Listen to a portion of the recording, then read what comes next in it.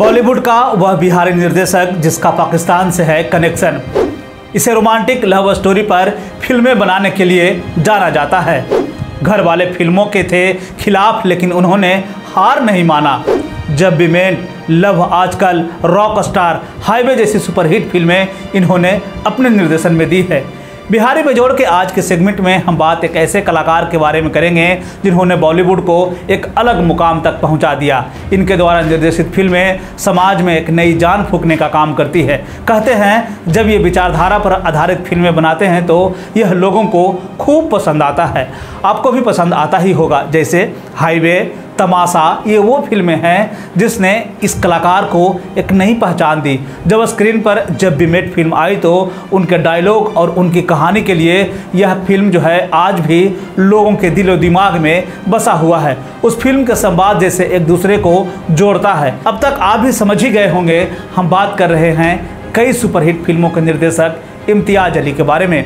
इम्तियाज़ अली का जन्म अविभाजित बिहार के जमशेदपुर में हुआ था। उनका ननिहाल आज भी पटना ही है। जब उनका जन्म हुआ तो उनके कुछ समय के बाद ही वे पटना पढ़ाई के लिए आ गए थे। हालाँकि यहाँ वे लंबे समय तक नहीं रहे और फिर वे चले गए जमशेदपुर। इम्तियाज़ अली के पिता सिंचाई विभाग में कॉन्ट्रैक्टर थे और उनकी माँ गृहिणी थी। जमशेदपुर में वे जिस मकान में रहते थे, उस मकान से जुड़े तीन सिनेमाघर था। तीन में से दो सिनेमाघर तो उनके घर से पूरी तरह से जुड़ा हुआ था। ऐसे में जब इम्तियाज़ अली सोते थे तो उनको सिनेमा हॉल में चलने वाली फ़िल्मों के डायलॉग सुनाई देते थे।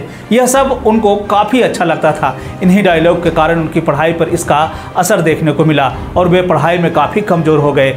कई बार वे क्लास में फेल भी हो गए, लेकिन कहते हैं ना, इंसान ठोकर खाकर ही सीखता है। इम्तियाज़ ने भी इस ठोकर से सीख ली। अब स्थिति यह थी कि उनके दोस्त ही उनके सीनियर बन गए थे। यह बात उनको खराब लगा और वे पढ़ाई में मन लगाने लगे। इसी पढ़ाई का नतीजा था कि उन्हें दिल्ली के हिंदू कॉलेज में पढ़ने का मौका मिला, जहाँ उन्होंने थिएटर करना भी शुरू किया और वे अब सिनेमा की तरफ़ आगे बढ़ने लगे थे। उन्होंने बचपन से ही डायलॉग सुना था, वह सब कुछ अब उनकी आँखों के सामने होने लगा था। इम्तियाज़ अली जब मुंबई आए तो उन्होंने कम्युनिकेशन का एक कोर्स किया। उसके बाद वे डायरेक्शन की दुनिया में अपना पहला पाँव रखा था। उन्होंने जी टीवी के लिए, कुरुक्षेत्र के लिए पहला डायरेक्शन किया। जब आप इम्तियाज़ अली के संघर्ष के दिनों को याद करेंगे तो आपको इस किरदार के साथ एक किरदार और दिखेगा। उसका नाम है इरशाद कामिल। जब ये दोनों मुंबई पहुँचे तो अपने कैरियर की तलाश में इधर उधर भटक रहे थे। इरशाद कामिल जहाँ गीत में लेखन को अपना कैरियर बनाना चाहते थे तो वहीं इम्तियाज़ अली फ़िल्म निर्देशन में अपना करियर तलाश रहे थे। इन दोनों के सामने एक लंबा संघर्ष है। मुंबई में एक रात दोनों फ़िल्मों पर बात करते हुए सड़कों पर टहल रहे थे। उन्हें पता ही नहीं चला कि रात के दो बज गए हैं। इतनी रात को इन दोनों को घूमते देख पुलिस ने देखा और उनसे पूछताछ के इरादे से उन्हें थाने लेकर चली गई। थाने में इन दोनों की पूछताछ शुरू हुई तो इरशाद कामिल ने बताया कि फ़िल्मों के लिए गाने लिखता हूँ, जबकि इम्तियाज़ अली ने बताया कि मैं फ़िल्मों में डायरेक्ट करता हूँ। ऐसे में पुलिस को समझ में आ गया कि ये दोनों 음 फ़िल्मों के मतवाले हैं, जो कि अपनी एक दुनिया बसाने को बेताब हैं। पुलिस ने इन दोनों को घर जाने के लिए छोड़ दिया और हँसते हुए दोनों थाने से निकल कर बाहर चले आए। बाद के दिनों में इन दोनों ने बॉलीवुड को एक से बढ़कर एक फ़िल्म दी। इम्तियाज़ अली का कनेक्शन पाकिस्तान से रहा।